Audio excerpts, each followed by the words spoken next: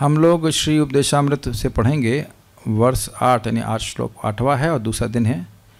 इसमें वर्णन किया जा रहा है कैसे व्यक्ति को ब्रज में रहने का प्रयास करना चाहिए। मेरे साथ में बोलिएगा, तन्नाम रूप चरितादि सुकीर्तनानु, स्मृत्यो क्रमेण रसनामनसी नियोज्य। तिष्ठन् व्रजे तदनुरागी जनानुगामी कालम नयेदखिलमित्युपदेश सारम इसके शब्दों का अर्थ मैं बता चुका हूँ, अब खाली अनुवाद को पढ़ता हूँ। समस्त उपदेशों का सार यही है कि मनुष्य अपना पूरा समय चौबीसों घंटे भगवान के दिव्य नाम, दिव्य रूप, गुणों तथा नित्य लीलाओं का सुंदर ढंग से कीर्तन तथा स्मरण करने में लगाए, जिससे उसकी जीव तथा मन क्रमशः व्यस्त रहें। इस तरह से व्रज यानी गोलोक वृंदावन धाम में निवास करना चाहिए और भक्तों के मार्गदर्शन में कृष्ण की सेवा करनी चाहिए। मनुष्य को भगवान के उन प्रिय भक्तों के पद चिन्हों का अनुगमन करना चाहिए, जो उनकी भक्ति में प्रगाढ़ता से अनुरक्त हैं। वो ग्रीन रंग के कुछ होंगे, अगर आपको चाहे तो ले सकते हैं। एक उधर रखा हुआ है पीछे की तरफ़, और यहाँ पे भी वो पिरामिड टाइप के थे ना उससे आपको सुविधा होगी पढ़ने में। तात्पर्य, चूँकि मनुष्य का मन उसका शत्रु या तो मित्र हो सकता है। अतएव उसे मन को अपना मित्र बनाने के लिए प्रशिक्षित करना चाहिए। बहुत अच्छी बात थी। अच्छी बात है। मैंने आज इसमें मैं जब के समय भी विचार ही कर रहा था। विचार कर रहा मतलब अचार आ ही जाता है जब मैं।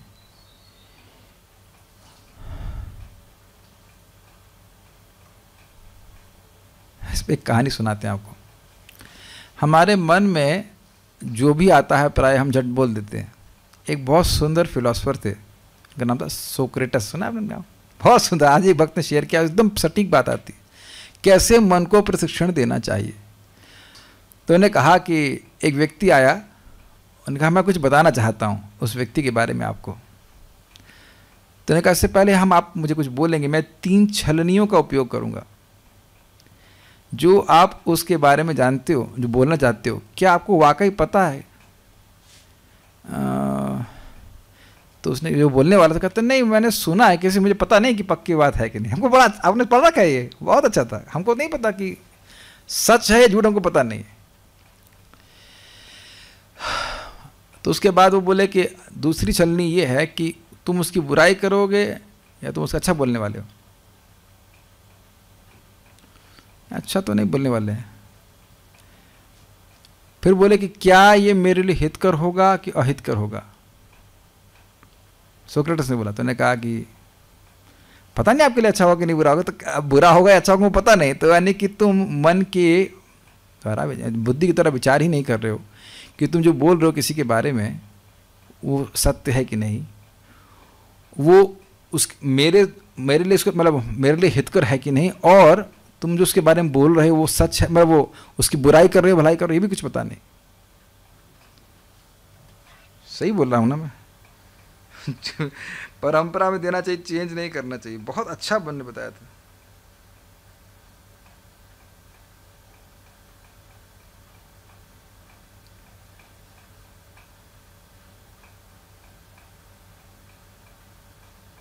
नहीं नहीं, फिर से मैं देख बताता हूँ, बहुत अच्छा होने बोला। पहला चीज़ क्या तुम सत्य बोल रहे हो मेरे मित्र के बारे में? तो हमको पता नहीं, हम किसे सुने थे। दूसरा बात, बोले, दयालुता के ऊपर। उन्होंने कहा कि मेरे मित्र के बारे में जो तुम बोल रहे हो, वो अच्छा है कि बुरा है? नहीं नहीं नहीं, वो बुरा है। मेरा मित्र है। तीसरा, कि क्या उससे मेरा कुछ फ़ायदा होगा? Is it of any use to me मान लो गलत भी बोल रहे हो तो उससे मेरा कुछ प्रयोजन है। तो कहते नहीं कोई प्रयोजन नहीं है। समझ? तीन बड़ा अच्छी बात है। एक, सत्य है कि नहीं? वॉज़ वेरी नाइस सत्य है कि नहीं? तुम अच्छा बोल रहे हो कि नहीं? और उससे क्या मेरा कुछ लाभ होगा कि नहीं? तो देखा जाए, तुमको पता भी नहीं सत्य है। और तुम उसको उल्टा बोल रहे हो। और उसके बाद, मेरे काम का भी नहीं है। तो अब देख रहे हैं कि मन हमारा शत्रु है। कैसे शत्रु है, बताइए? महाप्रभु ने कहा कि जिसने एक बार भी कृष्ण बोला है, दूसरे की निंदा नहीं करता, उसका धर्म ऐसे करूँगा और कितनी बातें हम व्यर्थ की इधर की उधर सुनते हैं इससे हमारा कोई फ़ायदा नहीं होता है। तो अब यहाँ प्रभुपा जी कह रहे हैं कि मन को अपने मित्र बनाने के लिए प्रशिक्षण देना चाहिए। इसका मतलब क्या है? देखिए, हमारी कोई भी इंद्रियाँ तभी कार्य करती हैं जब वो मन के द्वारा सिग्नल प्राप्त करती हैं। सब भक्त समझते हैं समझाने की ज़रूरत नहीं है। सारी इंद्रियों में मन है और मन दो ही प्रकार से काम करेगा, या तो माया की तरफ़ जाएगा या भगवान की तरफ़ जाएगा। तो यही बात बता रहे हैं कि सारे उपदेशों का सार यही है कि मन को किसी न किसी रूप में कृष्ण के साथ कृष्ण के सानिध्य में रखें। कृष्ण फोकस रखें। मन मना। वीतराग भय क्रोधा, मन मया माम पाश्रता, बहवो ज्ञान तपसा, पूता मद भाव मागता। आप देख रहे हैं कि मन की शक्ति कितनी अद्भुत है। हमको भगवत प्राप्ति कराएगा मन। मन मना भगवान का भी इंस्ट्रक्शन है और यहाँ पर भी शैल शिला रूप गोस्वामी जी यही बात बोल रहे हैं और यही सारे उपदेशों का सार है कि स्मर्तव्य सततम विष्णु, विस्मृतव्य न जातुचित सर्व विधि निषेधेशु एतयोर एवं किंकरा। संस्कृत का बहुत सुंदर श्लोक है कि हमेशा कृष्ण का, विष्णु का स्मरण करना चाहिए और उनका विस्मरण कभी नहीं करना चाहिए। सारे विधि निषेधों का उद्देश्य सारे विधि निषेध इस उपदेश के किंकर अर्थात दास हैं। और यही बात आप बोल रहे हैं कि अभी तक श्लोक क्रमांक सात तक जितने भी उपदेश दिए, उसका उद्देश्य यह है कि व्यक्ति का मन भगवान की सेवा में लगे तो आप ये भी देख रहे हैं कि जब तक व्यक्ति सद आचरण नहीं करेगा श्लोक सात का तक, तब तक उसके लिए आठवां श्लोक का अप्लाई करना मुश्किल होगा। तो ये प्रशिक्षण दिया जा रहा है मन में, मन को कि वह भगवान में कैसे फिक्स रहे। कृष्ण भावनामृत आंदोलन विशेष रूप से मन को प्रशिक्षित करने के लिए है। जिससे वह सदैव कृष्ण के कार्य में लगा रहे।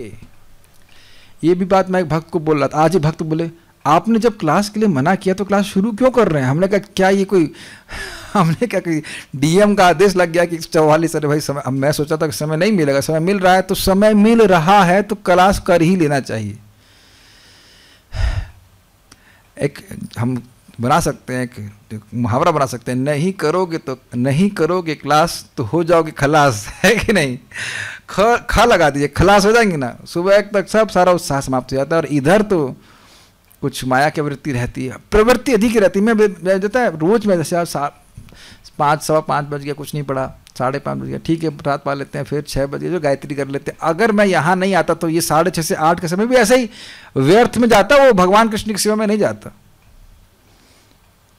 सदैव कृष्ण कार्य में लगे। प्रभुपाद को समझाते हैं कि देखिए, आप जब कर रहे हैं, जब करते करते बोर हो गए, चलो, ठीक है, कुछ और भगवान के लिए कुकिंग कर लो, कुछ ऐसे करो। और आप में से सभी भक्त लोग जानते होंगे, समझते होंगे कि कृष्ण की सेवा करने में एक एक टेस्ट है।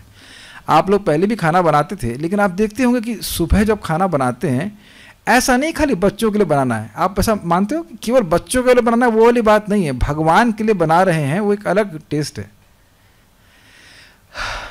मुझे तो बड़ा सुबह उत्साह आता है, खिचड़ी बनाने, बहुत अच्छा लगता है। और अब यही बात प्रभुपाद जी, भक्ति स्वामी सिंधु बताते हैं कि कोई व्यक्ति कोई कार्य कर रहा है तो उस सेवा के द्वारा उसको कुछ रस मिलता है, इसलिए वो कार्य कर रहा है। क्या लगता है मैं कुछ पैसे कमाने के लिए मतलब कोई ना just we come together to hear Srila Prabhupada books तो ये प्रशिक्षण व्यक्ति को प्राप्त करना है कि कैसे किसी न किसी कार्य के द्वारा मन में, मन को लगाया जाए। देखिए, बहुत सुंदर बात है। भगवत गीता में बताया गया है कि एक भी इंद्रिय अगर भोग में जाएगी तो मन को खींच लेगी। अब इसको पॉजिटिव कैसे अप्लाई करेंगे बताइए। एक भी इंद्रिय भगवान की सेवा में लगा दे तो मन खिंच जाएगा। ये अर्थ समझ पा रहे ना बात? आप लोगों ने देखा कभी कभी सब्ज़ी जल जाती है जरा सा ध्यान हटेगा आपका और खट सब्ज़ी जल जल जाती है। तो वस्तुतः absorption is the key word for Krishna consciousness यही परम पूज्य राधानाथ महाराज को परम पूज्य सचिनंदन महाराज पूछे कि what is Krishna consciousness in one word Krishna भावना एक, एक शब्द में क्या है? तो क्या है? एब्जॉर्प्शन भगवान का मैं किसी न किसी रूप में मन को लगाया। प्रभुपाद बड़ा सुंदर कहते हैं कि हम लोग इतने छोटे हैं कि भगवान ये नहीं देखते कि क्या सेवा कर रहा है। भगवान बस यही देखते कि हमारा सेवक सेवा में लगा। बस ये बात। और यहाँ हम लोग तो ऊपर नीचे करते रहते हैं, ये सेवा नहीं मिली, वो सेवा नहीं मिली। अरे तुम्हें खाने की सेवा तो मिली है, खाना बना सकते हो, मंदिर वादन कर सकते हो, कुछ ना कुछ सेवा तो में लगे रह सकते हो। वो हमारा परफेक्शन है।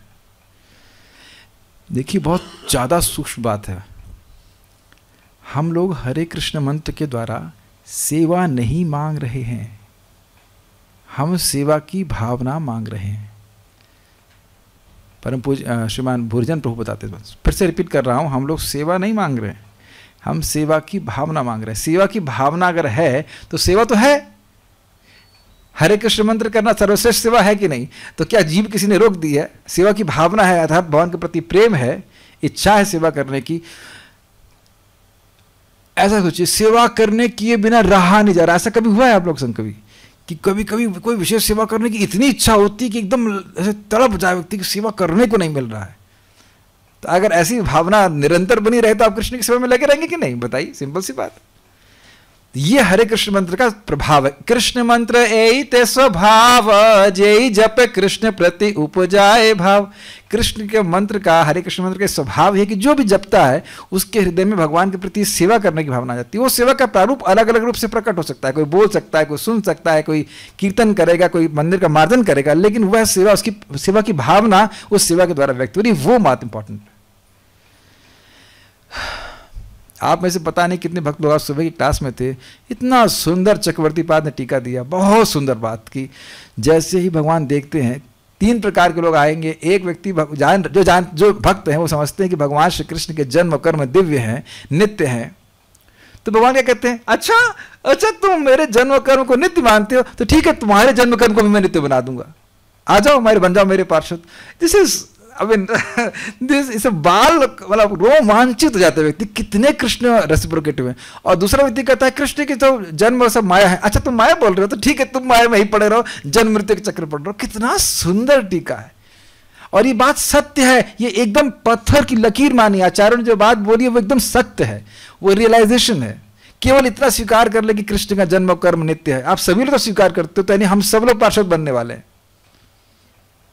आप कहेंगे हम तो बन जाएँगे, आपका आपको चांस लगता नहीं, ठीक है? आप बन जाएँगे तो हम भी पास ही हो जाएँगे नहीं लगता कितनी अजीब सी बात लगती but this a simple understanding Krishna को मारा नहीं जा सकता। कृष्ण दिव्य हैं, कृष्ण अभी भी हैं, मेरे हृदय में भी हैं, आपके हृदय में भी हैं।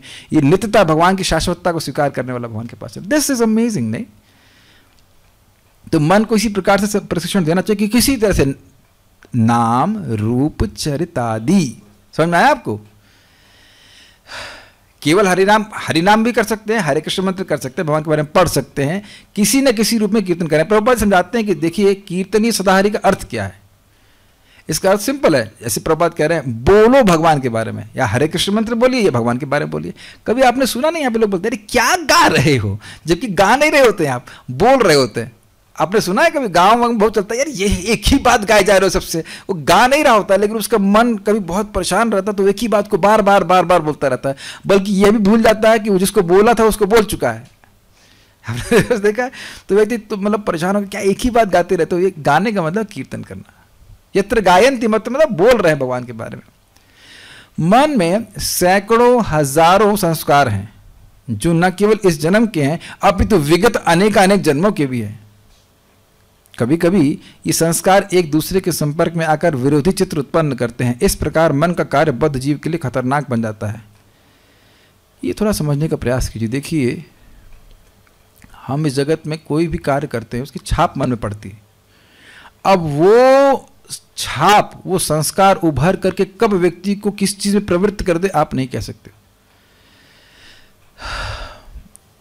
अब वो उसके लिए अच्छा होगा या बुरा होगा, ये कहना भी मुश्किल है। जैसे परम पूज्य राधा गोविंद महाराज समझा रहे थे, अजामिल ने वो दृश्य देखा, जिसकी वजह से पतन हो गया, उसके लिए अच्छा था कि बुरा था?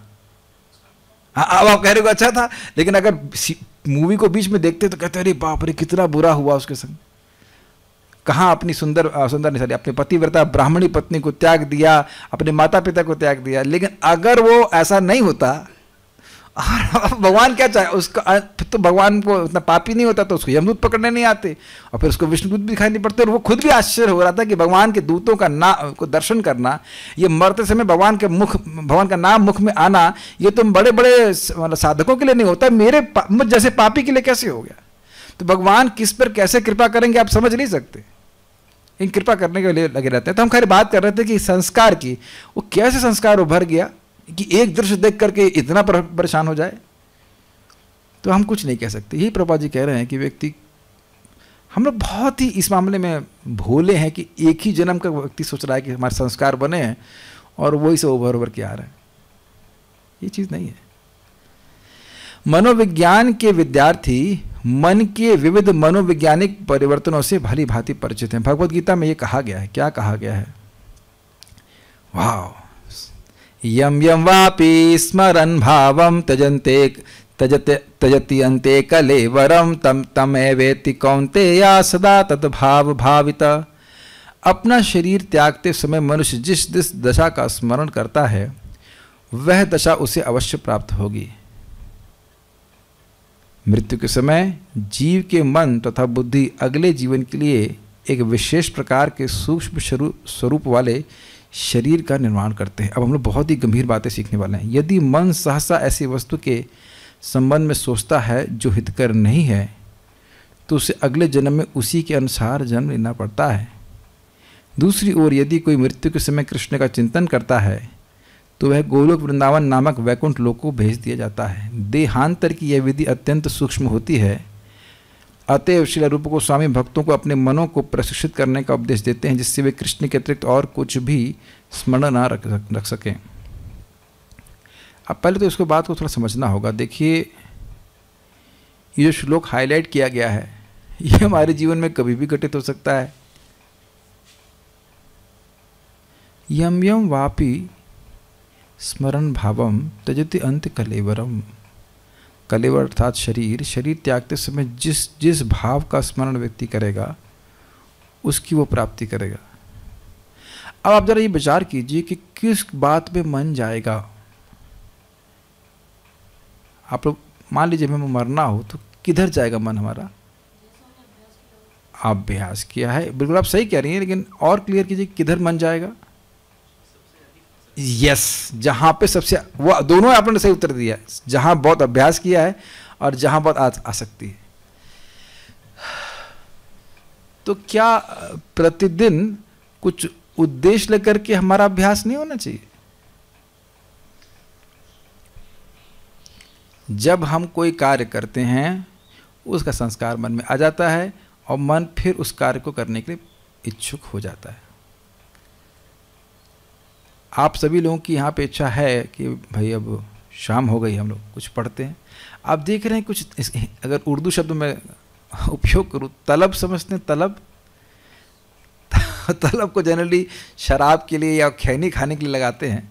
कुछ नहीं है, आज हमारे यहाँ पे इलेक्ट्रिशियन आए थे वैसे कुछ काम को तार जोड़ना है। खाया, उसके बाद तो तार जोड़ने में तुम्हारी खैनी क्या काम कर रही है? कुछ भी नहीं कर रही है। छैनी से काम करना था, खैनी से नहीं करना था, लेकिन अब खैनी चल रही है। एकदम मैं देख रहा था, और देखो भक्तों की कुछ भी इच्छा नहीं आती नहीं आती ना। बल्कि कहते ये इतनी गंदी चीज़ मुख में क्यों डाल रहे तो अब देख रहे हैं कि चेतना उसने कार्य करना शुरू किया तो वो इतनी गंदी वस्तु को मुख में डालने में से कोई शर्म भी नहीं आ रही। वो वो जानता वो जानता से कैंसर भी हो जाएगा, फिर भी व्यक्ति पड़ा हुआ अभ्यस्त हो रहा है। अब वो अपने मन को ऐसी निम्नतन निम्नतन, निम्नतर और निम्नतम वस्तुओं को एक्सेप्ट करने के लिए प्रशिक्षित कर चुका है। ये मानते हैं ना कि बचपन से कोई पैदा हुआ तो कर पैदा होते तो माँ कोई खैनी नहीं खिलाती किसी को। तो जिस प्रकार से खराब चीज़ व्यक्ति ग्रहण कर रहा है वैसे अच्छी भी कर सकता है। शुरुआत में हो सकता है कि कथा आदि में व्यक्ति को मन न लगे। लेकिन जब हम नियमित रूप सुनते हैं तो एकदम प्रैक्टिकल और प्रत्यक्ष रूप से देखते हैं कि ये जो प्रभुपाद जी के तात्पर्य हैं, वह हमारे सामने सत्य को फिर से लेकर जाते हैं। पता नहीं आप अपने चित्त को देखते कि नहीं। मैं तो ऐसा चित्त को देख रहा था कि दिन में मेरा मन मुझे झांसा देता रहा। छोड़ो ना। कर तो ली ना तुमने सोलह वाला क्या आप दिन भर भक्ति करोगे? मैं कई बार आज सुबह से संकल्प उठ रहा कुछ पढ़ लेते अरे वो महत्वपूर्ण कार्य कर लो फिर पढ़ लेना। पढ़ किताब कहाँ जा रही है? क्या आप लोग संग भी ऐसा हो, महसूस होते आया। नहीं होता है। पढ़ते रहते दिन भर ठीक है। ना?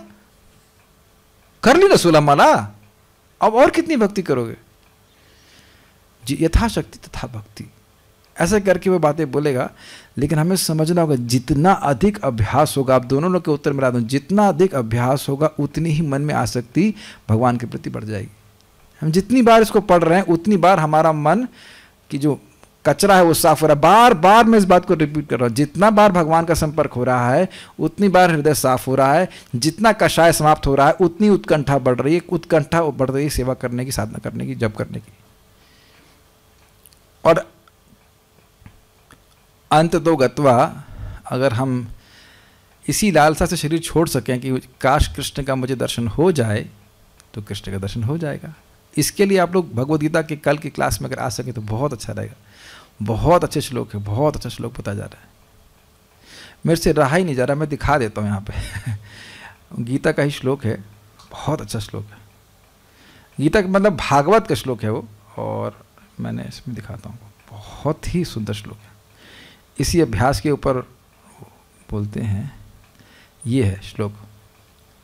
पेज नंबर 16 है, गीता की फ़ाइल जो थी 4.11 की, उसमें मैंने भेजा हुआ है। त्वं भक्ति योग परिभा त्वं भक्ति योग परिभावित हृत सरोजा, आसे श्रुतेक्षित पथो ननुनाथ पुंसाम यद यद्यात उर्गाय विभावयन्ति तद वपुः प्रणय से सदनुग्रहाय। हे प्रभु, ब्रह्मा जी कह रहे हैं, आपके भक्तगण प्रामाणिक श्रवण विधि द्वारा कानों के माध्यम से आपको देख सकते हैं। भगवान के बारे में सुनते हैं, भगवान के रूप की धारणा होती है और इस तरह उनके हृदय विमल हो जाते हैं, पवित्र हो जाते हैं। ये बात कर रहा था, इसी का अभ्यास करना श्रवण कीर्तन का, तथा आप वहाँ पर अपना स्थान ग्रहण कर लेते हैं। जैसे मान लीजिए हमारे गुरु महाराज आएँगे तो कोई मान लो कुर्सी एक मिनट, एक सेकंड महाराज महाराज, एक मिनट एक मिनट थोड़ा साफ़ कर दें, फिर कुछ कपड़ा बिछा के फिर महाराज को आसीन करेंगे। इसी तरह से कह रहे हैं कि भगवान, यहाँ पे क्या, हमें नहीं कर रहा है, खाली बस सुनना है भगवान के बारे में, भगवान स्वयं ही हृदय को साफ़ कर देते हैं। आप अपने भक्तों पर इतने दयालु हैं कि आप अपने को उस आध्यात्म के विशेष नित्य रूप में प्रकट करते हैं जिसमें वे सदैव आपका चिंतन करते हैं। श्रीमद भागवत तीन, नौ, ग्यारह। और व्याख्या तो कल करूँगा, एक बार समझ लीजिए।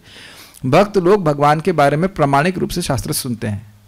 मोर पंख धारण किए हुए हैं, भगवान का श्याम वर्ण है, भगवान की आँखें कमल के समान है, इत्यादि। ऐसा सुनकर कि वो कृष्ण की धारणा वैसे ही करते। अब मान लीजिए कोई नरसिंह देव का भक्त है तो नरसिंह देव का रूप उस प्रकार से सोचेगा। वो कोई भेद तो है नहीं इसमें सारे रूप एक जैसे हैं। तो जिस रूप के प्रति भगवान के भक्त आसक्त है, जैसे मान लीजिए कुछ लोग कृष्ण ही हैं, लेकिन जगन्नाथ, बलभद्र, सुभद्रा मैया के प्रति आसक्त होते हैं। और आप भक्त लोग देखते होंगे कि जैसे हम लोग तो वृंदावन में कृष्ण बलराम गौर नेता राधे श्याम को देखे हैं। मान मैं अपनी बात कर रहा हूँ। तो कृष्ण मतलब कृष्ण बलराम या गौर नेता राधे श्याम, सब भक्त अलग अलग है, जो लोग राधा दामोदर की सेवा करते हैं, उनके प्रति आसक्त हैं। तो भगवान इस प्रकार से जिस जिस जगह भगवान के रूप को भक्तों ने ध्यान किया है, वैसा ही भगवान रूप प्रकट करते ध्यान दीजिएगा कि भगवान का दिव्य रूप है, शाश्वत रूप है, अनंत रूपों को जो कि प्रमाणिक रूप से सुने गए हैं। ये नहीं कि तुमने जो भावना, हमने भावना कर ली, वो भगवान प्रकट नहीं ऐसा नहीं है। वो भावना शास्त्रिक रूप से स्वीकार की गई है। इसीलिए प्रपात ने कहा, प्रमाणिक रूप से श्रवण की विधि के द्वारा वह भगवान के रूप की धारणा करते हैं। बार बार भगवान का ये दर्शन करना, जप करना, सुनना, ये हृदय को पवित्र करता है। भगवान जैसे जैसे हमारा हृदय पूरी तरह शुद्ध होता जाता है, पूरी तरह हृदय शुद्ध होता जाता है और पूरी तरह शुद्ध हो जाएगा तो भगवान के जो स्वरूप है वो प्रकट हो जाएगा। प्रोसेस बहुत सिंपल है ना कभी कभी विश्वास भी नहीं होता, मुझको, खुद को भी। कितना सिंपल है, हरे कृष्ण बोलो, हरे कृष्ण सुनो और भगवान का नाम, रूप, गुण, लीला सभी हृदय में स्फुरित हो जाएँगे। प्रश्न बनता कि कब?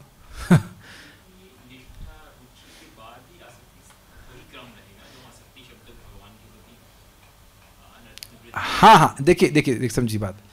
कई बार रुचि और आसक्ति को हम एक जनरल सेंस में कहते हैं। आप उसको वहाँ मत लीजिए कि वो रुचि आसक्ति के प्लेटफॉर्म की बात कर रहा हूँ। आसक्ति का मतलब ये है कि जो भक्त लोग इस्कॉन वृंदावन के हैं उनको भगवान कृष्ण बलराम ही अच्छे लगेंगे। बोलेंगे कृष्ण कौन से हैं? तो सोचेंगे ऐसा कृष्ण बलराम है। समझ रहे ना मेरी बात? जैसे जो लोग आकर नेचुरल जो जो का हाँ एफिनिटी कह लीजिए हाँ। टेक्निकली हम नहीं बोल रहे कि आसक्ति के लेवल पे ही हैं, लेकिन जैसे देखिए राधा कुंज बिहारी हैं पुणे के तो भक्त जो वहाँ सेवा करते हैं तो अपना सेंटर मान लीजिए कानपुर में भी खोलेंगे तो भी वो राधा कुंज बिहारी की फ़ोटो लगाएँगे। ये बात है। आप देखो, मैं अब कहीं पे भी जाऊँगा तो फ़ोटो राधा श्याम सुंदर की लगाऊँगा। ऐसे एक भक्त राधा गोविंद जी की फ़ोटो लेके आए, नोएडा से। तो हमारा मन उधर नहीं जा रहा था। राधा श्याम सुंदर को श्याम राधा श्याम सुंदर के रूप में देखना चाहते थे। ये बात है। एक बात ये भी है, भक्त लोग कहते हैं कि भगवान का भगवान ही है, लेकिन उसमें अपने भगवान को देखो हुआ है, लेकिन मेरे से संभव नहीं हो पाता। जैसे मैंने गया कई बार, कुछ बार मायापुर गया, लेकिन मैं प्रार्थना नहीं कर पाता। मुझे पता है, सिद्धांतिक रूप से पता है कि हाँ वही राधा माधव हैं, कोई भेद नहीं है, लेकिन एक भाव की बात है मतलब व्यक्तिगत है, भक्तों का अलग अलग रहता है। ये यहाँ पे जो लिखा गया वही बात है। बार बार भगवान के एक रूप को देख करके उसी में हम वक्त आसक्त हो जाते हैं देख करके। इसमें बहुत सुंदर सी बात है उसको बोल करके फिर वापस अपने श्लोक पर जाएँगे। श्रुत इक्षत। इसका क्या अर्थ है? एक अर्थ है कि सु, सुनने वाला मार्ग और आँखों से देखने वाला मार्ग।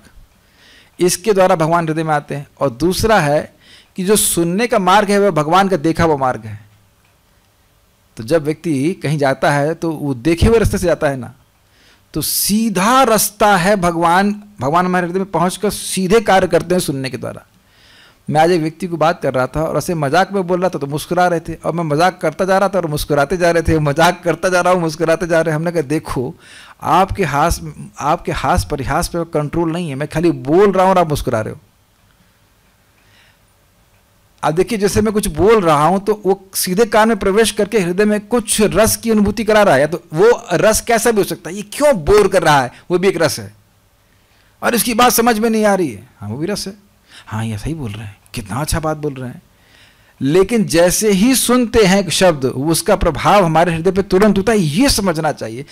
This is very amazing this is very astonishing नहीं?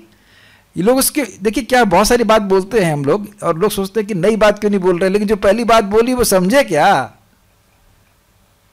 अब बताइए, ये कितना, एक छोटी सी बात था सारा हमारी साधना भक्ति का उद्देश्य क्या, यहाँ क्या देख रहे हैं हम लोग? यहाँ यही देख रहे हैं कि हमारा हृदय शुद्ध होगा तो भगवान प्रकट हो जाएँगे। यानी कि महाराज कितनी बात इस बात को बोल रहे हैं कि साधना भक्ति का उद्देश्य यही है कि हम अपने हृदय को शुद्ध कर दें, चित्त का निर्माण करते हैं भगवान तो अपने आप आएँगे।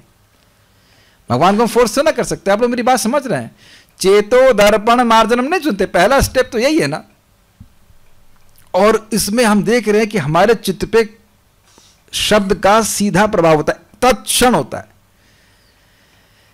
इसीलिए बार बार श्रवण कीर्तन को महत्व दिया गया, भागवत में भी दिया, देखिए यहाँ पे भी दिया गया है। बड़ा स्पष्ट है कि यदि हम भगवान के बारे में स्मरण, आवाज़ आई होगी भक्तों को, यहाँ पे लाइट चली गई। आवाज़ आ रही है आप लोग नौकरी। ठीक है। अब ये बड़ा इंटरेस्टिंग है। ये बहुत इंटरेस्टिंग है। मृत्यु के समय जीव के मन तथा बुद्धि अगले जीवन के लिए एक विशेष प्रकार के सूक्ष्म स्वरूप वाले शरीर का निर्माण करते हैं। इसको प्रभा समझाते हैं ऐसे कि मान लो किसी ने सुअर के शरीर वाला कार्य किया है तो उसको अब अगले जीवन जीवन में सुअर का शरीर प्राप्त हो जाएगा। देखिए, सुअर जैसा शरीर कैसे प्राप्त करेगा व्यक्ति? इस जगत में कुछ ऐसे लोग होते हैं ना जो खान, खाने में कुछ भेदभाव नहीं मानते। आपने सुना वो जो लोग मांस मूस खाते हैं हम ऐसा कोई भेदभाव नहीं मानते कि ये खाना है कि नहीं खाना है। अच्छा तो अब कौन व्यक्ति भेदभाव नहीं मानता है? प्रकृति का ही? हाँ सुअर कोई भेदभाव नहीं मतलब up to up to stool you can eat प्रपात कहते हैं। मल भी खा सकते हो, कोई भेदभाव करने की ज़रूरत नहीं है। तो वो इस प्रकार से एक निम्न सूक्ष्म, निम्न तरह का सूक्ष्म शरीर का निर्माण कर रहा है। ये बहुत सुंदर बात है प्रपात जी। बहुत, आप लोगों को पता नहीं लगता है कि नहीं, हमको तो जो सुनते हैं ना प्रपात जी की बात बड़ी अच्छी लगती है। प्रपात कहते हैं, ये बताओ, भगवत गीता बोलती, कारणम गुण संगस्य सद असद योनि जन्मसु। गुणों का संग करने से सद, यानी देवता की योनि, और असद, यानी निम्नतर पशु आदि की योनि व्यक्ति को प्राप्त हो रही है। तो कहेगा, ऐसे कैसे? तो कह रहे ये बताइए, फिर ये अलग अलग रूप दिख क्यों रहे हैं? यहाँ पे देखिए सुअर क्यों दिख रहा है, चीटी क्यों दिख रही है, मच्छर क्यों दिख रहा है, उसने ऐसा मन बना लिया है कि मैं खून पी के जीऊँगा। सोचिए भी हम लोग खून पी रहे हैं किसी का। खून पी के, नहीं, खून नहीं पी रहे, खून पी के ही जी रहे हैं, मच्छर जीता है कि नहीं? वही जीवात्मा हम एक बार रह चुके हैं। हम लोग कभी सोचते नहीं ना इस तरह से। कितना इंटरेस्टिंग है ना। तो अब एक सीधी सी बात है, यानी अब हम अभी तक हमने जो कुछ किया सो किया उसका हम कुछ नहीं कर सकते। लेकिन इस समय व्यक्ति विवेक धरे कि मुझे कैसे अपने सूक्ष्म शरीर को प्रभावित करना है ताकि आगे जाकर के मुझे कम से कम देवता का शरीर तो प्राप्त हो भगवान का पार्षद बन जाए तो, तो बहुत ही अच्छी बात है। टारगेट तो वही रहना चाहिए लेकिन कम से कम देवता का शरीर प्राप्त। मैं देवता बनने के लिए नहीं बोल रहा हूँ लेकिन दैवीय गुण ज़रूर जागृत करने चाहिए ताकि कम से कम उच्चतर योनि प्राप्त हो। इज़ इट सिंकिंग इन ये, देखिए, क्या ये इम्प्रेस करने के लिए नहीं बोला जा रहा है। अगर हम भगवान का प्रसाद ग्रहण करते हैं, नाम उच्चारण करते हैं, भगवान के बारे में सुन रहे हैं तो क्या हमारा सूक्ष्म शरीर पवित्र हो रहा है? जी हाँ। और उससे आने वाला स्थूल शरीर भी हमको पवित्र ही प्राप्त होगा। आप कहेंगे, इसमें क्या महत्वपूर्ण बातें आप बोल रहे हो? क्या इस जगत में जो लोग कुछ बोल रहे हैं, खा रहे हैं, देख रहे हैं, सुन रहे हैं, कुछ विचार है लोगों को कि अगले जन्म में क्या प्राप्त होगा?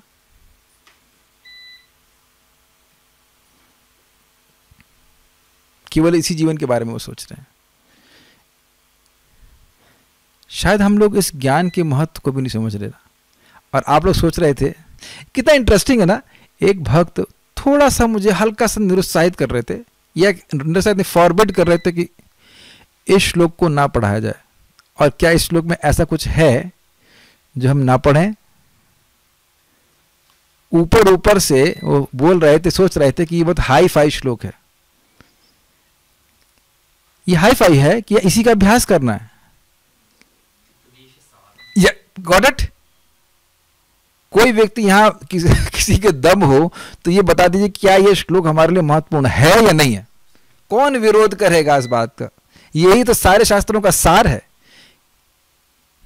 कितना सुंदर बात है ना? यानी कि यानी कि हमें कोई भी उपदेश प्राप्त हो रहा है उस इस सार को सेंटर में रखिए।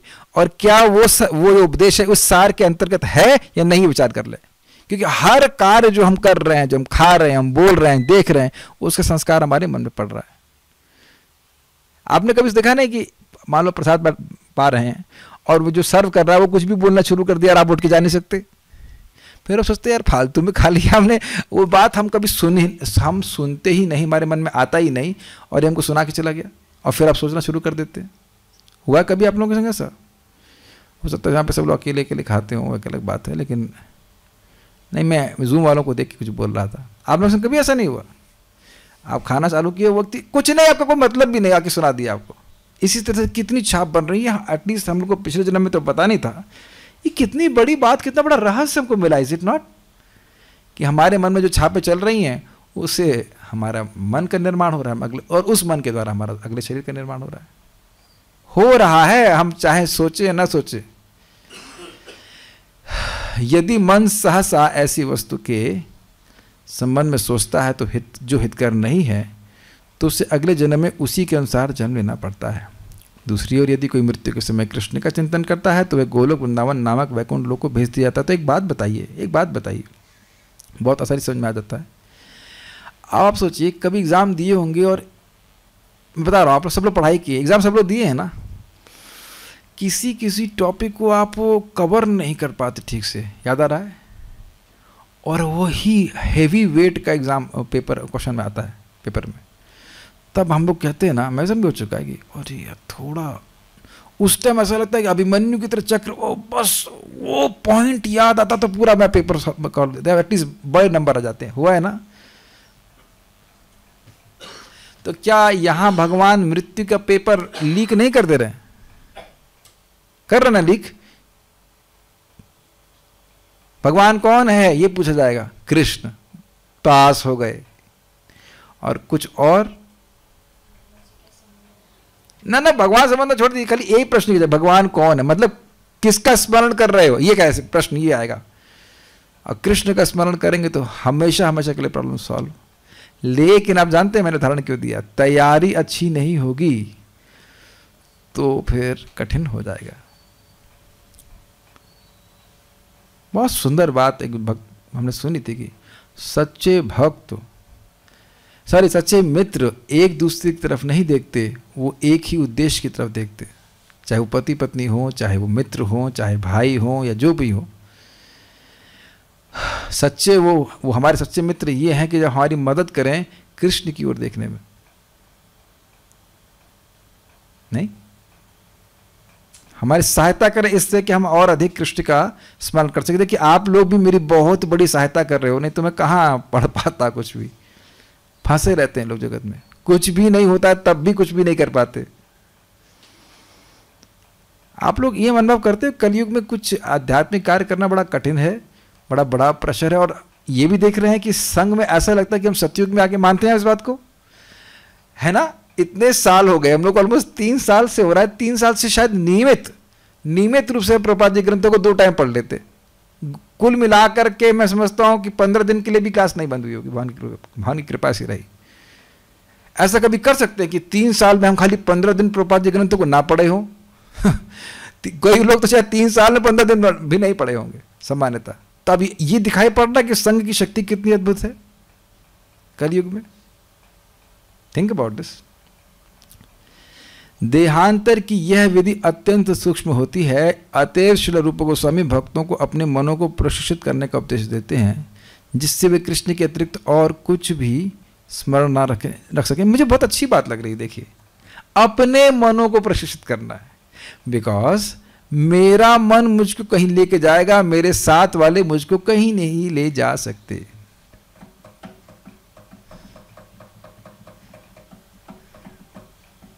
सबको दिख गया? क्या लगता है? हमारा कोई व्यक्ति मर गया और मरने के बाद वो कहाँ गया? अटकलबाजी कर सकते लेकिन पता तो किसी को नहीं रहता ना कि कौन कहाँ गया। जैसे हम लोग स्टेशन पे रहते ट्रेन में तो कोई व्यक्ति मिल जाता है। हमारा संबंधी होता है ना अब अगर फ़ोन नंबर ना दे के जाए तो वो कहाँ उतरा और कहाँ चला गया तो कुछ नहीं पता ना, भीड़ में खो गया वो। कुछ समय के लिए हमारे प्रसंग आते हैं। देखिए हाँ तो आप सब लोग बोल रहे हैं, दिख जा रहा सबको। थिंक अबाउट इट चाहे वो हमारे बच्चे हो, जैसे मेरी माँ शैली छोड़ दी, अब कहाँ है, कौन, उम्मीद है कि भगवान के पास ही गए, लेकिन कहाँ गए क्या पता है जरा पिताजी कहाँ चले गए, पता कहाँ? बाबा जी कहाँ गए?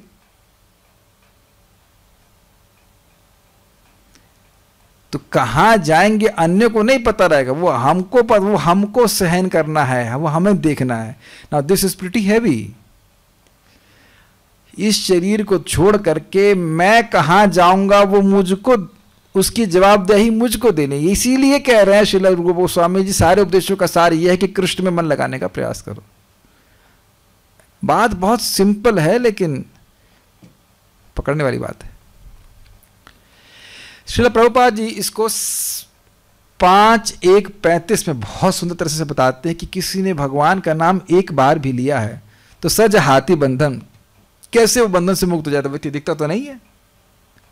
हम लोग एक बार से तो अधिक बार नाम बोल चुके हैं। बोल लेते हैं बार, हरे कृष्णा हरे कृष्णा कृष्णा कृष्णा, हरे हरे हरे राम हरे राम राम राम, हरे हरे। काफ़ी इंटरेस्टिंग है। अब आप देखो वहाँ बताया गया कि देखिए, उसका देह तो वही लग रहा है। वो कुत्ता खाने वाले का पैदा हुआ है तो कहाँ बंधन कट गया? तो प्रभुपा जी, बहुत सुंदर बात बताते हैं, आप लोग अगर पढ़ सकें तो पढ़ सकें। पाँच एक पैंतीस भागवत। जैसे ही कोई व्यक्ति भगवान का नाम बोलता है, क्या बोला? हरि। अब आपको कुछ लगा नहीं ना? तुरंत ही मन मंत्र, तुरंत ही उसका सूक्ष्म शरीर परिवर्तित हो जाता है। दिस इज़ ब्रिलियंट जैसे ही हरि बोला, कृष्ण बोला, गोविंद बोला, माधव बोला, मुकुंद बोला आपको दिखता नहीं तुरंत मन चेंज हो जाता है। और क्योंकि मन ही अगले जन्म का आधार है, इसलिए क्योंकि मन पवित्र हो गया, इसलिए दोबारा जन्म लेगा तो फिर हम देखते हैं भक्तों का जन्म होता है। भक्तों का जन्म कर्म के अनुसार नहीं होता है, वो इसीलिए होता है ताकि उसके भक्ति के जो फल फूल आने हैं, वो पूर्ण हो जाए। वो कर्म के अनुसार आप में से कोई जन्म नहीं लेगा, मैं भी और आप में से कोई भी नहीं। यद्यपि जन्म हो सकता है, लेकिन वो इसीलिए ताकि भक्ति का जो प्रोसेस है, वह पूरा हो जाए। इसीलिए प्रपा जी एकदम लिख के दिए हैं कि हम, तुम सभी लोगों का परफेक्शन गारंटीड है। Is just a matter of time मुझे कठिनाई ये लगती है, पता है कि हमारे भक्तों को सुना सुना के शायद मेरा प्राण बाहर आ जाए, लेकिन एक ही भी बात समझ में नहीं आती। एक ही बात भी, एक सिंपल सी बात समझ में नहीं आती, किसी भक्त का कुछ गड़बड़ नहीं हो सकता है। सबका परफेक्शन है, कोई थोड़ा देर में पहुँचे, कोई पाँच में पहुंचेगा बस। किसी भी भक्त का जन्म कर्म के अनुसार नहीं होगा, वो भगवान की व्यवस्था के अनुसार होता है। और जो भी भक्त के जीवन में, किसी भी भक्त के जीवन में सुख, दुख आ रहा है तो वो केवल भक्ति करने से सुख आ रहा है, अपराध करने से दुख आ रहा है, बस। लेकिन वो सीधे भगवान के नियंत्रण में है। कितनी बार बोला गया, भगवान की भक्ति का फल भगवान देते हैं, इसलिए अच्युत मार्ग है। तो अपने मनों को भगवान में लगाना चाहिए। वही सबका, वही सारी बातों का सार है। तो समझ गए, मन भगवान में लगेगा तो पवित्र होता जा रहा है, पवित्र होगा मन तो भगवान के पास चला जाएगा। इतनी सी बात समझनी चाहिए ना। डोंट रेज हैंड्स अगर कुछ किसी को प्रश्न करना है तो आप टाइप कर दीजिए, मैं उसको बाद में देख लूँगा। तो एक बहुत सीधी सी बात है कि यदि हम किसी को भी प्रशिक्षण दे रहे हैं या भक्ति में आगे बढ़ने की शिक्षा दे रहे हैं तो हमारा उद्देश्य यही होना चाहिए कि उनको इस प्रकार की शिक्षा दे सकें जिससे वे निरंतर भगवान का स्मरण कर सकें। और देखिए, निरंतर ना कर सकें तो कम से कम नियमित रूप से करना तो बहुत ज़रूरी जैसा कि हमने पिछले श्लोक में सुना था आदराध अनुदिनम। ठीक है नेक्स्ट इस प्रक, इसी प्रकार जीव को केवल कृष्ण के विषय में बोलने के लिए और केवल कृष्ण प्रसाद चखने के लिए प्रशिक्षित किया करना चाहिए। अब आप लोग सोच रहे होंगे ये बार बार ये बात क्यों आ रही है? क्योंकि हम शायद बार बार इस बात को भूल सकते हैं। अरे तो तब एक गुलाब जामुन अगर भगवान को अनर्पित खा लिया तो उसमें क्या नुकसान हो जा रहा है? ऐसा हम सोच सकते हैं। बट नो श्री रूप गोस्वामी आगे। हमेशा देखना, जब भी इंद्रिय तृप्ति करते हैं तो हमारी चेतना ब्लंट हो जाती है। ब्लंट समझते हैं? ब्लंट। शार्प का अपोजिट होगा ब्लंट। तीक्ष्ण नहीं रहती। बुद्धि क्लियर नहीं रहती। धुंधला सा होता है चित्त। जीवन का उद्देश्य ब्लर हो जाता है बैकग्राउंड में जाके ब्लर जाता है ना? जूम पे सेटिंग करते ना? उस तरह से। हाँ होगा। कृष्ण प्रेम प्राप्त करना। जिनको प्राप्त करना करें प्रयास करें अभी तो हम। हम्म।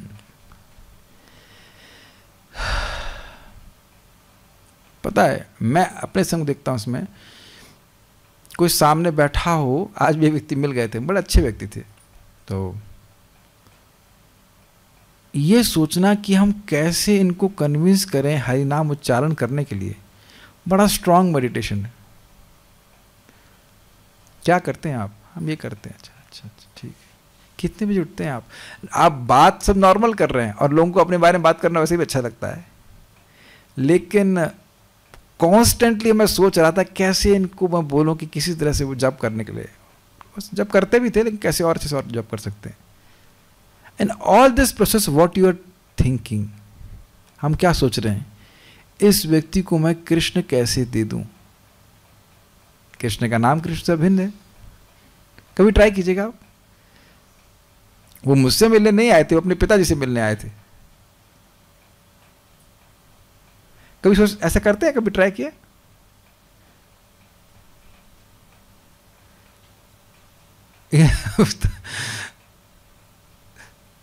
वेरी नाइस डे टुडे मेरे कुछ दो वेल्डर मिलने के लिए आए थे मुझसे। तो उनसे मैं बात कर रहा था, वो लोग कुछ बहुत धनी हो गए हैं, ये है जो भी है। तो बोला आप लोग सब कुछ करो ठीक है हरे कृष्ण मंत्र कर सकते हो। करो सुबह हाँ ये हाँ नहीं कर रहे हैं, बहुत दिन से, बहुत दिन हो गया छूटे हुए, क्या बताएँ। जा रहे देखो, तारे कहो, कृष्ण उपदेश। काश एक एक लालसा आपके हृदय में रहे कि उस व्यक्ति वो हरे कृष्ण मंत्र कर ले। बड़ा आसानी से मन ऐसी प्रचार की भावना से, के द्वारा मन भगवान में लग जाता है। शिला रूप गोस्वामी आगे सलाह देते हैं तिष्टन ब्रजे, मनुष्य को वृंदावन में या व्रजभूमि के किसी भी भाग में रहना चाहिए। बहुत अच्छी बात है, ध्यान सुनिए। व्रजभूमि चौरासी कोष क्रोश के क्षेत्रफल तक मानी जाती है। एक क्रोश दो वर्ग मील के बराबर होता है। जब मनुष्य वृंदावन को अपना आवास बनाता है तो उसे वहाँ किसी समुन्नत भक्त की शरण ग्रहण करनी चाहिए। इस तरह मनुष्य को कृष्ण तथा उनकी लीलाओं के विषय के ही विषय में सोचना चाहिए। ये है वास्तविक तरीका वृंदावन में रहने का। योग्यता नहीं, हम तो मैं अपनी बात करूँ तो मुझे तो दूसरा वाला पॉइंट है, जो हमारे शरणागत हैं और जो पापी हैं तो पापी वाले लोग भी रह सकते हैं। भगवान विष्णु ने कहा कि वो भी शुद्ध हो जाएँगे वृंदावन की कृपा से। लेकिन वास्तविक रूप से वृंदावन धाम परमहंसों के लिए वास्तविक रूप से वही लोग रहते थे और वो केवल कृष्ण की लीला का चिंतन करते थे, कृष्ण की लीला का श्रवण कीर्तन करते थे। वट एन अमेजिंग लाइफ कि आप केवल कृष्ण के बारे में बोल रहे हैं, सोच रहे हैं।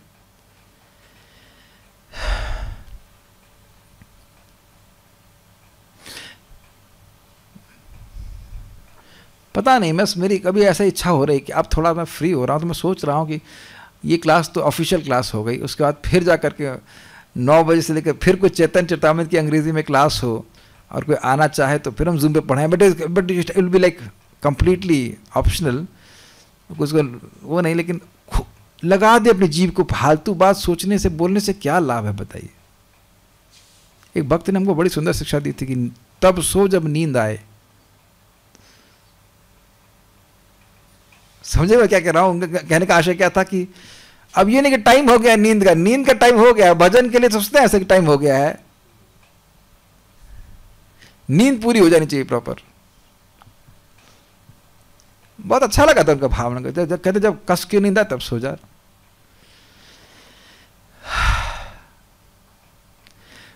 तो बड़ी अद्भुत बातें हैं सब।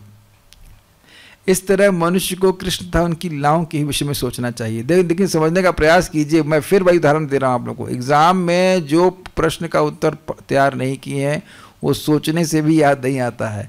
अदृष्टात अश्रुतात भावात, ना भावोपजायते, जिसको देखा नहीं है, जिसको सुना नहीं है, वो भाव हृदय में उत्पन्न नहीं होता। और वही बात हमने गीता में सुनी ना भी यम यम वापिस स्मरण भावम। तो समझ में आ रहा लिंक जिस चीज़ का हम श्रवण, कीर्तन करते हैं, वही भाव मन में जमा रहता है, बसा रहता है। यही बात बोली जा रही है।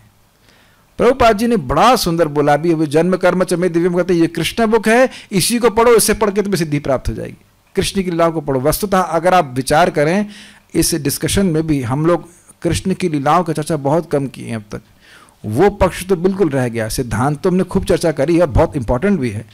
लेकिन समाव उधर मैं समाव अगर मैं मैं देख रहा हूँ कि लीला का चिंतन बिल्कुल नहीं है। लीला श्रवण कीर्तन भी नहीं हो रहा है। तो उसका भी कुछ अवकाश होना चाहिए। चेतन चरतामित या कृष्ण भोग या कुछ भी। देखते हैं कैसे समय निकलता है। इसकी और अधिक व्याख्या शिल रूप गोस्वामी ने भक्ति स्वामी सिंधु में की गई है। कृष्णन कृष्णम स्मरंजनम चास्य पृष्ठम निज समीहितम तत्कथारत तत्कथारत चासौ कुरियाद्वासम व्रजे सदा। भक्त को सदैव व्रज के दिव्य क्षेत्र में निवास करना चाहिए और सदैव कृष्णम स्मरण जन्म चास्य पृष्ठम, अर्थात श्री कृष्ण तथा उनके प्रिय पार्षदों के स्मरण में लगना चाहिए।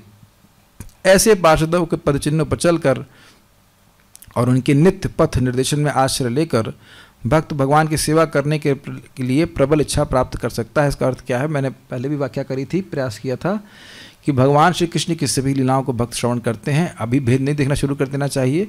भेद, लेकिन कुछ आगे और बहुत उन्नत अपने आप हो मतलब सुनते सुनते होगा तो उसे कुछ विशेष लीलाओं का वह स्मरण करेगा और उस प्रकार से वह प्रशिक्षण प्राप्त करता है।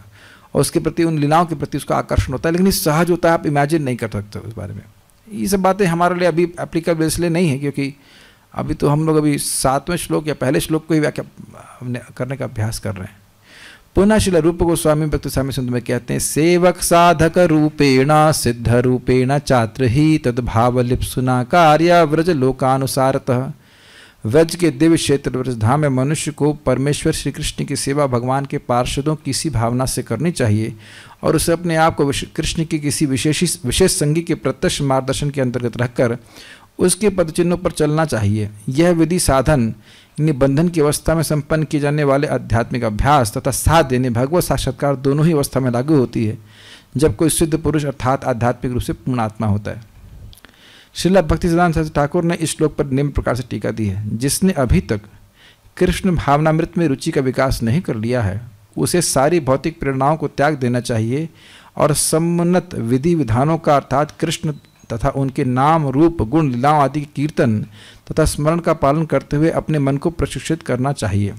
इस प्रकार ऐसी वस्तुओं की रुचि उत्पन्न करके मनुष्य को वृंदावन में रहने तथा किसी योग्य भक्त के निर्देशन एवं संरक्षण में कृष्ण के नाम, यश, लीलाओं तथा गुणों को स्मरण करने में अपना समय बिताना चाहिए। तो ये बड़ा स्पष्ट और प्रैक्टिकल है कि देखिए, जिसकी रुचि नहीं है, उसको नियमित अभ्यास के द्वारा, श्लोक क्रमांक सात के द्वारा अभ्यास करना चाहिए और वस्तुतः अभ्यास तुम्हारा अभी वही चलेगा, अब कितने जन्मों तो चलेगा हमको नहीं पता। और जब समझने का प्रयास कीजिए, व्यक्ति सोचने लग जाएगा ना, कौन वो गुरु होंगे जिनके मार्गदर्शन में ये सब सुनूँगा, पढ़ूँगा। देखिए बहुत सिंपल सी बात, बहुत सिंपल सिद्धांत सीखिए। जब किसी ज्ञान के हम योग्य होते हैं तो भगवान हमारे हृदय में ही बैठे हैं और हमको व्यवस्था बना देंगे, ऐसे व्यक्ति के पास ला देंगे जो हमें इस प्रकार का प्रशिक्षण दे दे। ये बस ध्यान रखिएगा।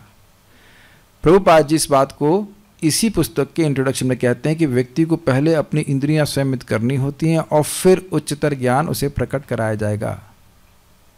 जैसे आप कॉलेज में भी देखते हैं कि दूसरी क्लास के बच्चे को शेक्सपियर नहीं पढ़ाया जाता।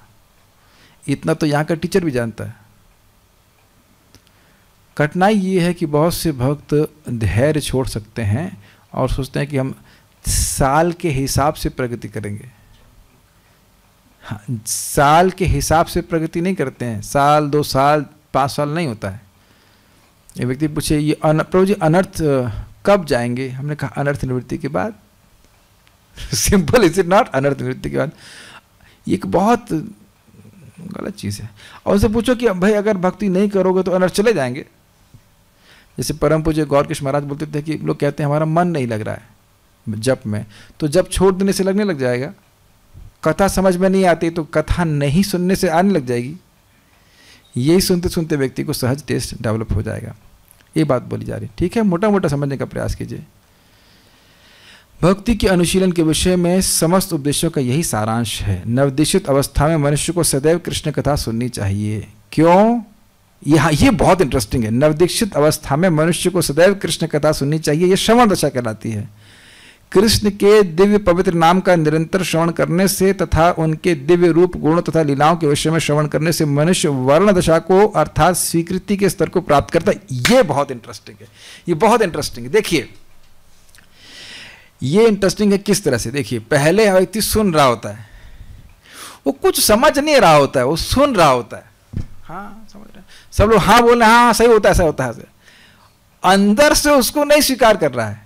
आप देखें संदेह होते हैं, संशय होते हैं। ये बोल रहे हैं, कृष्ण एकमात्र प्रेमास्पद है, नहीं, हमारा परिवार के लोग प्रेमास्पद है, हमारा देश प्रेमास्पद है, इत्यादि इत्यादि। एक भक्त हमको भी आईआईटी कानपुर के हैं, वो उनको मैसेज किए रात्रि में कि, अरे, सब भक्ति करेंगे तो फिर देश का डेवलपमेंट क्या होगा? तो सुन लिए हैं, लेकिन अभी स्वीकार नहीं किए। समझ रहे हैं बात? हमने कहा, आपको पता है कि देश देश के डेवलपमेंट क्या होगा? कुछ उनको बात समझ में आ रही थी। हमने कहा, भाई नहीं तो मैंने कहा, भाई, हम लोग भी सॉफ्टवेयर यूज़ कर लेते हैं, जो अब काम में ऐसे ओ में यूज़ कर रहा हूँ। तो कहते, किसी ने तो बनाया होगा ना? कि तो जब ने कहा, जिसको बनाने की अधिकार है, वो बनाए। हमें तो यूज़ करने का अधिकार है ना, कृष्ण की सेवा में उसको बनाने के लिए क्यों चलेंगे? इस समय की वेस्ट मतलब समय वेस्ट हो जाएगा ना। मान लीजिए लथौड़ा लथौड़ा नहीं, क्या बोलते हैं? लोहा लत क्या बोलते हैं? हथौड़ा सॉरी लथोड़ा हथौड़ा। हथौड़ा इस्तेमाल आप करते तो हथौड़ा बनाने भी चलते हैं? जो लोहार बना देता है, उसका हम इस्तेमाल कर लेते हैं। ये जो कील बनाते हैं तो कील इस्तेमाल करते हैं तो कील बनाते हैं, और हेयर पेन है, वो भी बनाते हैं। हर चीज़ बनाने तो नहीं बैठ जाते हम। उसका उपयोग किया जा रहा है वो एक अलग बात है, लेकिन हम हम क्या बात कर रहे हैं? हाँ तो हम बात ही कर रहे थे, उनको वो सुन तो रहे हैं, लेकिन वर्ण नहीं कर रहे हैं। वर्ण मतलब स्वीकार करना। This is very nice Krishna के जन्म कर्म दिव्य हैं। सुना? अच्छा तो एक ही बात को जब बार बार बार बार व्यक्ति सुनता है, तब उसके हृदय में उसकी एक्सेप्टेंस आती समझ में आ गया? बहुत ही बात सुंदर है। क्या ये आप लोग देख पा रहे हो? ये आप सुनते हो कि सुबह चार बजे उठ करके स्नान करना अमृत स्नान है। ऐसा नहीं है कि कुल, अब हम जब जल उठाएँगे, उसे स्नान करेंगे तो वो देखिएगा अमृत लिखा हो या अमृत जैसा हो जाए, लेकिन वो है अमृत स्नान। तो लोग सुनते हैं, लेकिन स्वीकार करने का मतलब वो करने लग जाएगा ना उसको। जीवन का उद्देश्य है कृष्ण प्रेम की प्राप्ति करना। हाँ हाँ।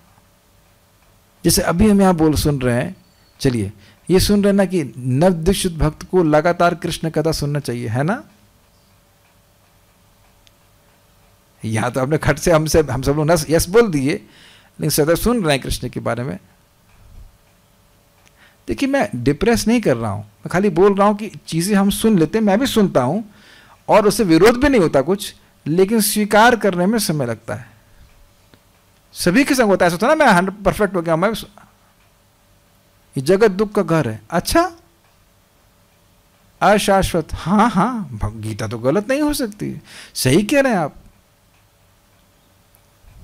दुख हाले हम? हमको तो नहीं लग रहा है।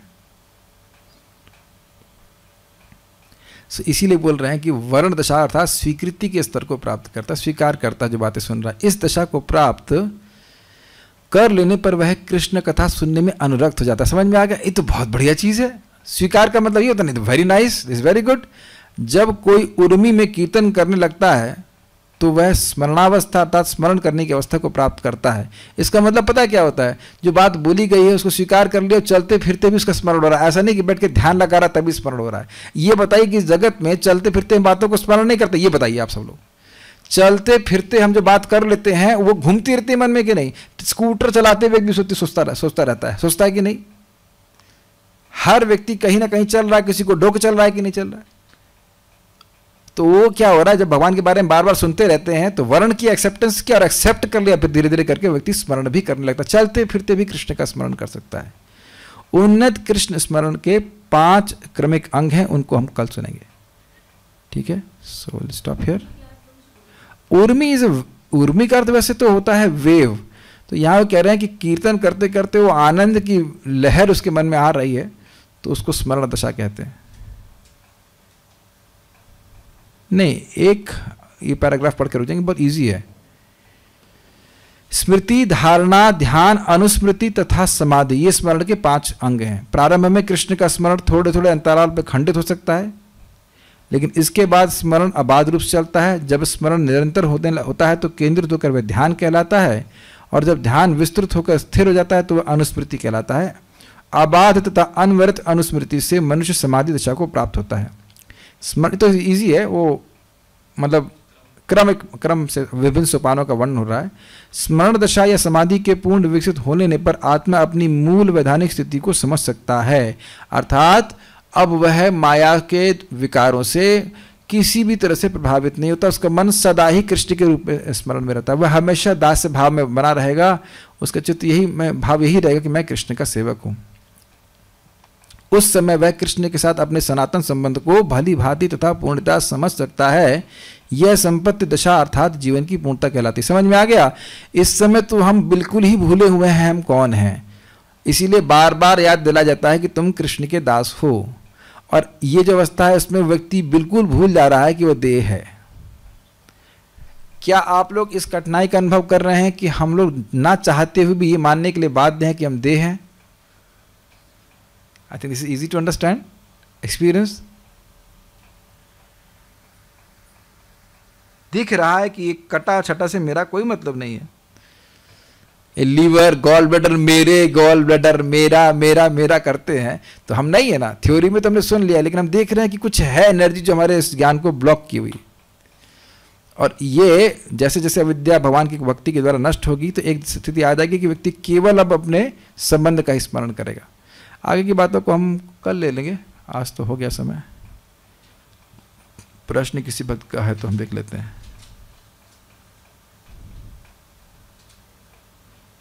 यदि हमारा मन भगवान के ही अन्य अवतारों पर अट्रैक्ट नहीं करता है तो क्या ये ऑफेंस है? नहीं नहीं नहीं। ये कोई अपराध नहीं है। देखिए, स्वाभाविक सी बात है, गौड़े वैष्णव श्री श्री राधा कृष्ण का स्मरण करते हैं, गौर निताई का स्मरण करते हैं। That's it okay that's okay लोग कहते हैं कि आगे क्या होगा, किसने देखा है? बहुत अच्छी बात, प्रश्न है। कैसे देखना चाहेंगे आप? मान लीजिए कोई अंधकार है तो सबसे पहले लाइट जलाएँगे ना। तो शास्त्र के प्रकाश में हम देखते हैं ऊर्ध्वम गच्छन्ति सत्वस्थ मध्य तिष्ठन्ति राजसा जगन्न गुण वृत्तस्थ अधो गच्छन्ति तामसा। जो सतगुणी है, वो देवता के लोक में जाते हैं, जो रजगुणी है मनुष्य के यहाँ जन्म लेते हैं, और जो तमगुणी है, वो नीचे के लोक में जाते हैं। तो इस जगत में जो मांस, मुर्गा खा रहा है उसको नहीं दिख रहा है, लेकिन जो ज्ञान व्यक्ति है, वो देखते हैं। उत्क्रामंतम सतम वापी भुंजा नाम व गुणान्वितम विमूढ़ नान पश्यंती पश्यंती ज्ञान चक्षुषा भगवान बता रहे कौन देखते हैं? बहुत सुंदर श्लोक है। उत्क्रामंतम स्तम वापी। कैसे वह शरीर छोड़ रहा है? कैसे शरीर में स्थित है? उत्क्रम उत्क्रामंतम स्तम वापी। भुंजा नाम व गुणान्वितम और कैसे गुणान्वित होकर, गुणों को उपयोग करके, गुणों को भोग रहा है?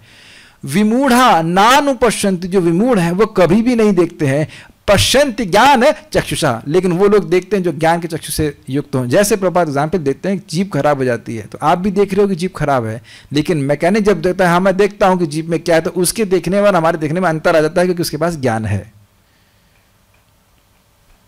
तो ज्ञान के चक्षु से देखा जाता है।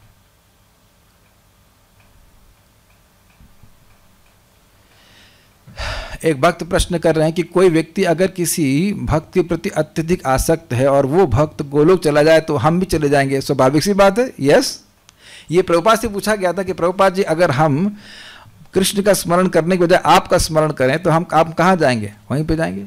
ये तो देखिए सिद्धांत है कि अगर पत्नी ने पति की सेवा करी और तो पति की जो गति है, वही पत्नी को प्राप्त है। लेकिन देखिए, आसक्ति किस रूप में है? आप भक्त से आसक्त हो, देखो भाई, आसक्ति अलग अलग प्रकार से हो सकती है, आसक्ति शारीरिक लेवल पे हो सकती है, आसक्ति कृष्ण कथा की हो सकती है तो कृष्ण कथा की आसक्ति तो है नित्यम विष्णु जनप्रिय, नित्यम विष्णु जनप्रिय। हम लोग क्या प्रभुपा जी के प्रभुपा जी की शिक्षाओं से आसक्त होते ना, साधुओं से आसक्ति, यही तो प्रसंगम प्रसंगम अजरम पाशम, आत्मनम कवयो विदु, स एव साधु सुकृतो मोक्ष द्वारम अपावृतम। ये जो हमारा आसक्ति है, ये प्रसंग अजरम पाशम, ये अजर, ये कभी बूढ़ा ना होने वाला आसक्ति है। लेकिन यही आसक्ति स एव साधु शुक्र तो यही आसक्ति अगर साधुओं में हो जाए तो मोक्ष द्वार अपावृत। मोक्ष द्वार खोलने वाली होती लेकिन क्या मतलब है? साधु से आसक्ति का मतलब है, जो साधु कार्य करते, उसमें आसक्ति। अब साधुओं के संग पत्ते खेलेंगे कोई? तो साधु लोग जिस कार्य में लगे हैं, कृष्ण कथा में, कृष्ण कीर्तन में, उसमें अगर आसक्ति, भाई शराबियों में आसक्ति का मतलब क्या है? चाय पीना। शराबियों के संग करेंगे तो चरणामृत तो नहीं पियेंगे ना। क्यों भाई? आज चरणा में तो पीते हैं तो क्यों भक्तों की संगति कर रहे हैं? आप ये बात समझो। स, मैं कहूँ भाई वो लोग शराबी में बड़े आ सकते हैं तो मतलब क्या? शराब में आ सकते हैं। तब तो शराबी में आ सकते हैं नहीं तो मतलब क्या है? तो कहो कि हम साधु में आ सकते हैं मतलब कृष्ण कथा में आ सकते हो। और कृष्ण कथा में आ सकते हैं तो साधु में क्या आ सकते साधु क्या था? पिक्चर दिखाएगा। सोचने वाली बात है।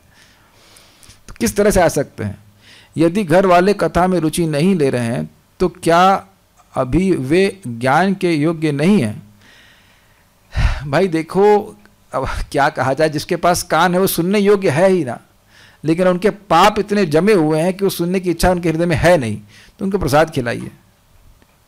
भौतिक सुख की कलम से कैसे मुक्त हो? अरे भाई, यही तो तरीका है। शुणवताम स्वकथा कृष्ण पुण्य श्रवण कीर्तन। हृदय भद्राणी विधुनोति स्तुत्सताम जो व्यक्ति भगवान श्री कृष्ण के बारे में सुनता है, भागवत से, भगवत गीता से हरे कृष्ण मंत्र बोलता है तो उसके कलमश को भगवान स्वयं साफ़ कर देते हैं। कई, ये ना, नए भक्त लोग हर बार यही प्रश्न करते हैं, सोचते हैं कि कोई नया उत्तर है। उत्तर नया नहीं है, आपको धैर्य से वही देवा को लेते रहना है। क्या भक्ति एक कर्म है? नहीं नहीं नहीं। भक्ति कर्म नहीं है। कर्म वसता इंद्र तृप्ति के लिए जो कार्य किए जाते हैं, उन्हें कर्म कहा जाता है। तो भक्ति भगवान की प्रसन्नता के लिए की जाती है।